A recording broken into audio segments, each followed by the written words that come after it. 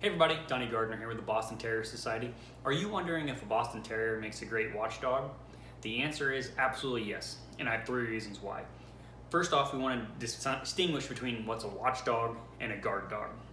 So growing up, my mom had Rottweilers, we had a Bull Mastiff, Huskies, um, but I would consider all those guard dogs, uh, especially the Rottweiler and the Bull Mastiff. And the reason why is because those dogs can actually protect you. If someone comes into your house, they can physically protect you.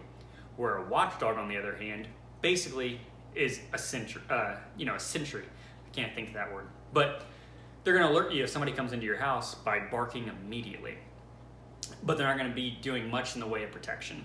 So Boston Terriers make great watchdogs uh, for three reasons. First, they barely bark, meaning if they do start to bark, you know something's up. Bella, for instance, she only barks at us like if we're sitting on the couch. The other time that she barks is if somebody comes up and rings the doorbell, which I love because, you know, you have neighbors, they're walking their dog. I do not like it when other dogs just start barking like crazy. Luckily, Bella doesn't do that. She just stares at them and then we walk away. The other reason Boston Terriers make good watchdogs is because they have a very good sense of hearing.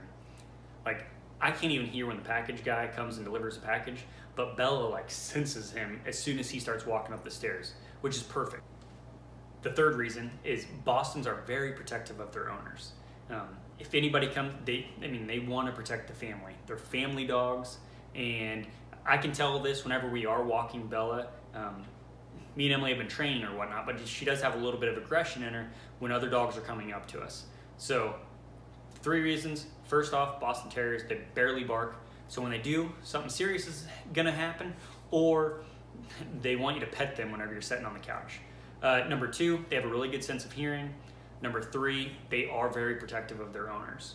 So if you're planning on getting a watchdog, I highly recommend a Boston Terrier because any other smaller breed tends to be, you know, like one of those yappy type dogs. And I personally don't like that. Um, so that's why I'm recommending the Boston. If you have any other Boston Terrier related questions, please leave a question in the comments below and I'll be sure to answer it. Also, if you're interested in Boston Terriers, thinking about buying one, um, or you have one and you just want more information, go ahead and click the subscribe button because I'm gonna have more information related to Boston Terriers coming out. You can also visit the website bostonterriersociety.com. There, there's a wealth of information, everything from can your Boston eat a grape, what kind of foods can they eat, to what's the birthing process of a Boston Terrier. So hope you like this video, and I'll talk to you guys later. Thanks, bye.